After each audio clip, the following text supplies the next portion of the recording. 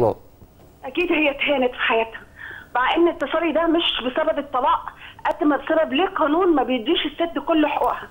ليه الست بتتهان؟ يعني إيه الراجل ممكن يعمل للست قضية زنا؟ والست لما تشوف نفس الحكاية مع جوزها ما تقدرش تعمل له قضية زنا. هو السكينة لما بتذبح بتفرق ما بين راجل وست؟ لا. هو الوجع مجروحة. بيفرق ما بين راجل وست؟ يعني لما راجل يشوف مراته في حالة حالة زنا توجع وتجرح من حقه إنه يسجنها ومن حقه إنه يقتلها وكمان ياخد فيها براءة. طب أنا ما بقولش لا تقتل ولا تسجن بس على الأقل القانون يرد اعتبارها. يعني إيه أدخل بيتي على فرشتي وعلى سريري؟ مفيش احترام لأسرة. مفيش احترام لدين مفيش تقوى لربنا مفيش احترام لعشرة ومعاشرة عشنا عليهم عشرين سنة مفيش احترام لأطفال أو حتى أط... بيت وأسرة بتنهار لمجرد نزوة. وكمان يا ريتها نزوة ممكن تتصلح. هو خان مراته مع ست متجوزة يعني الاتنين سفلة مع إن القرآن قال لا تأخذكما بهما اجلدوا كل منهما مئة جلده ولا تأخذكما بهما لا شفقه ولا رحمة لأن الزنا ده بيهز عرش الرحمن. نعم. فين القانون اللي يرد اعتبارك يا ست مجروحه ولما أروح أعمل بلاغ أسمع إهانة يخليني أطلع منهارة. سم- سمعتي الإهانة دي من مين؟ قال لي أنت ست وقانون بلدك ما بيعاقبش على الرفق ولا على الخيانة. رد فعل الزوج كان إيه؟ كان اعتذار ولا كان تبجح؟ هتتفاجئ حضرتك لو قلت لك رد. ضربك ان أكيد. أنا اتضربت واتهنت قدام ولادي. أيوه. حضرتك شفتي الوضع ده ولا اتقالك الوضع ده ميموري ميموري متسجل؟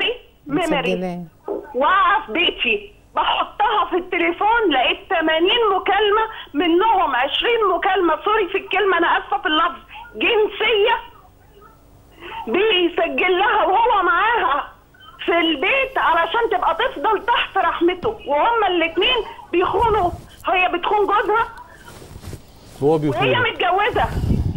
وجابت طفلة غير شرعية وبتتفق معاه إزاي يعني يت- يت- يتخلصوا من الزوج. طب يعني آه، حضرتك اتطلقتي ولا لسه معاه؟ استغفر الله. أنا رافعة قضية خلع ومعالي أربع سنين في قضية نفقه ما خدتش جنيه من المحكمة. يعني انت رافعه قضية خلع وبقالك أربع سنين ما خدتش منه جنيه. الخلع ده بقاله شهر واحد بس. شهر. فانت لما ال- ال- ال- القانون ما لم ينصفك ولم تحصلي على الطلاق لجأتي للخلع وكان معايا حكم. لا ما نصفنيش. لا ما نصفنيش. نعم.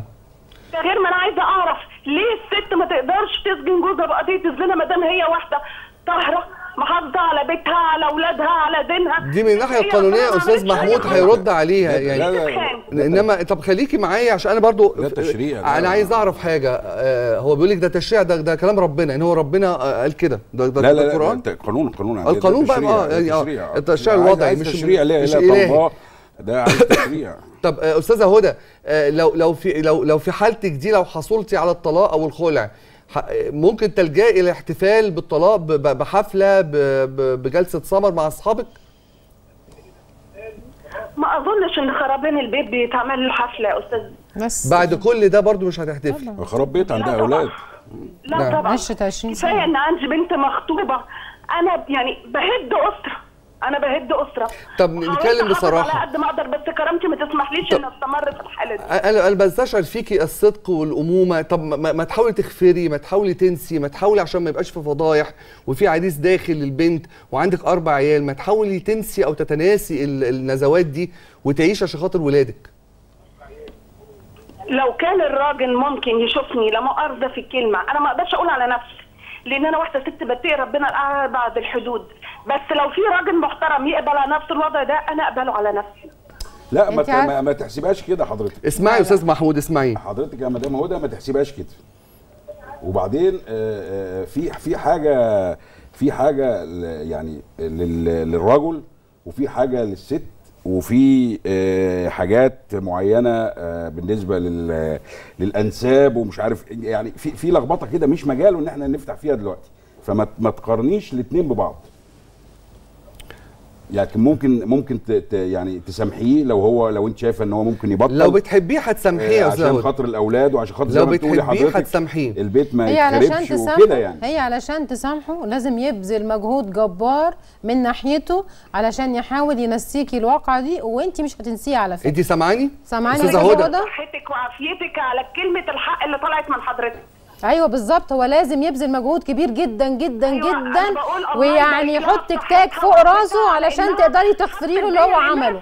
لكن ساعات للأسف الشديد بيبقى فيه تبجح إن أنا عملت ويتباهى باللي أنا عملته لكن يعني أنا عايز أقول لك على حاجة بأمانة بأمانة ودي موجودة في المجتمعات العربية كلها مش في المجتمعات المصرية.